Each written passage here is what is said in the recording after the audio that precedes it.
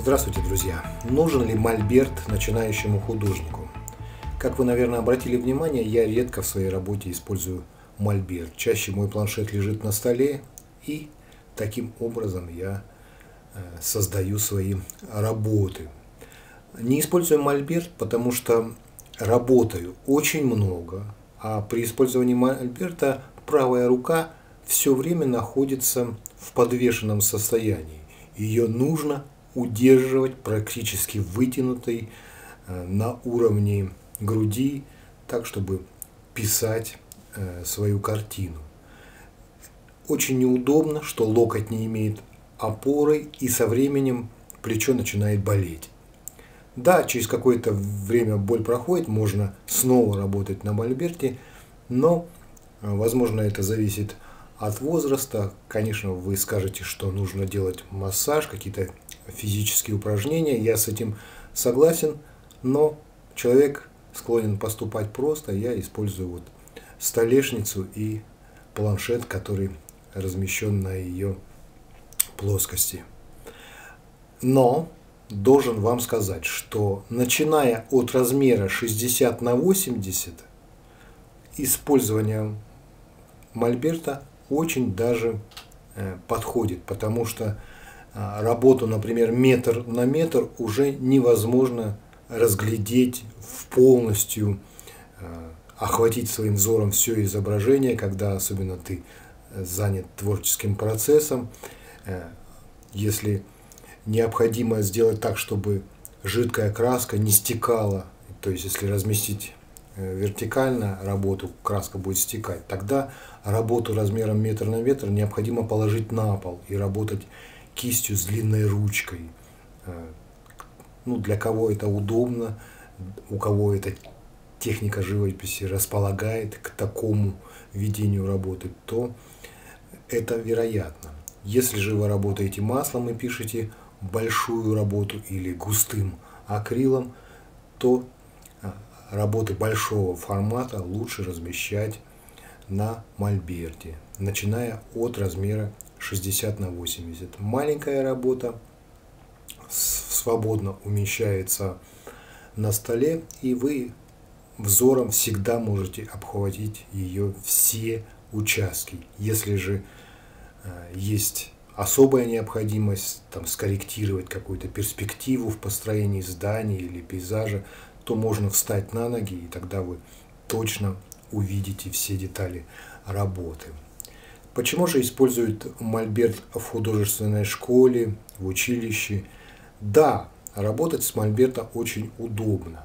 Когда вы ставите постановку натюрморт, глиняная ваза, яблоки, какие-то еще а, овощи или фрукты, и ваш взгляд переходит только справа налево, слева направо, когда вы смотрите на натюрморт и сразу же переносите на лист, который закреплен на мольберте, все, что видите, в, примерно в той же пропорции. А, и действительно очень хорошо видите пропорции объектов. Для обучения это вариант идеальный. Но стоит ли вам приобретать мольберт, если большинство своих работ вы выполняете или по фантазии, или по урокам, или по фотореференсам? Только если вы собираетесь очень много писать с натуры, а, то мольберт, в принципе, в каких-то случаях может быть необходим. Удобным вариантом является вот этот раскладной чемоданчик, который часто используют художники, которые пишут маслом. Но никто не запрещает нам вместо масла положить в этот чемоданчик акриловые краски, а, взять с собой бутылку воды и писать на пленере с акрилом. Удобство этого чемоданчика заключается в том, что он компактно складывается, ножки, телескопы тоже э, складываются, и он не занимает много места или в интерьере, когда находится у вас дома, или в поездке э, в багажнике автомобиля, или просто если вы идете пешком, он тоже компактный хотя для женщины может оказаться не очень-то и легким. Сам по себе, даже без краски, он весит ну, достаточное количество, то есть на далекое расстояние с ним ходить не очень удобно. Лучше, конечно, перемещаться на автомобиле или на короткие расстояния. Но вот что касается мольбертов, если я не полностью ответил на этот вопрос, то вы можете дополнительно задать вопрос в комментариях. Еще был вопрос, грунтую ли я арголит, с какой стороны, зачем это делается и какой краской. Ну, для грунтовки я чаще всего использую строительную влагостойкую акриловую белую краску. Ну, кажется, уже незаменимый материал для этой цели. Вообще любая грунтовка производится для того, чтобы краска не впитывалась в верхний слой планшета, на котором вы пишете, будь это холст или арголит. Если из а, краски, в частности у нас из акрила, быстро уходит влага, очень трудно растянуть ее по поверхности, ну, если необходимо сделать, например, плавные переходы. Ну и вообще многие жалуются на то, что акрил быстро сохнет, так вот, если грунт слишком пористый или его полностью нет, то как раз вот это впитывание влаги происходит моментально, и материал встает, и его уже невозможно растянуть по поверхности. Ну, для каких-то видов живописи, возможно, это является плюсом. Допустимо ли вообще отсутствие грунтовки на какой-либо поверхности? На моем канале есть уроки живопись по ткани. Там я на подрамник натягиваю ткань двунитку и не грунтую ее вообще ничем, а сразу начинаю писать акрилом по поверхности. Ну, акрилом же пишут по ткани, есть такой акрил специально для ткани. Мои работы написаны обычным акрилом, которым я работаю повседневно, а, но при этом вот отсутствие грунтовки дает определенный эффект растекания акрила на ткани, увлажненный предварительно, очень обильно водой.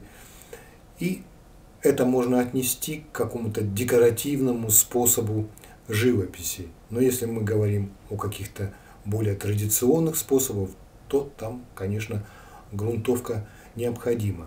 Меньше мне подходит грунт Сонет.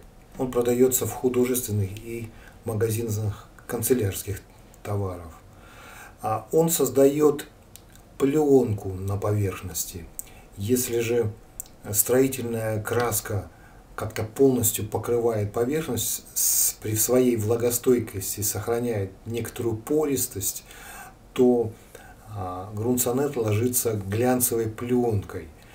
И э, нужно очень внимательно следить за тем, чтобы эта пленка хорошо просохла до начала работы акрила. Иначе, если работать очень влажной кистью, как вот в этой работе я смачивал поверхность, то есть большой риск, что грунт начнет под, подниматься с поверхности прямо лохмутами отходить. И работа просто-напросто будет испорчена.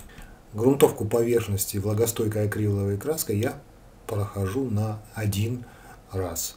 И этой, этого покрытия поверхности хватает для того, чтобы начать дальше работу над картиной.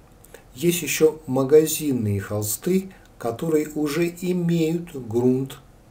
Эти изделия я дополнительно не грунтую.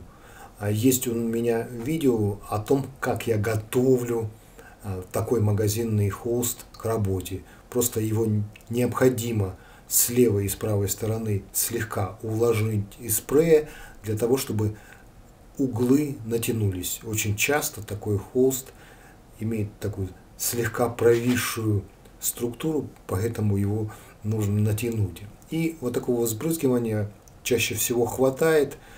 А, холст приходит в нормальный вид, и мы можем начать работать. Друзья, я благодарен вам за вопросы, потому что иногда мне кажется, что есть такие темы, на которые не стоит даже размышлять, что это всем известно. Но, как показывает практика, есть ученики, которые действительно только что коснулись а, красок кистей, и даже самые казалось бы, простые мелочи их интересуют, это не должно вызывать никакого отторжения и смеха у тех, кто начал заниматься чуть раньше, а тем более у преподавателя, который призван просветить начинающих мастеров и призвать их к продолжению творческого процесса. Поэтому задавайте любые вопросы, я постараюсь на них ответить или сам, или кто-то поддержит вас в комментариях своим ответом. Я же прощаюсь с вами до следующего видео. До свидания. Всего вам самого доброго.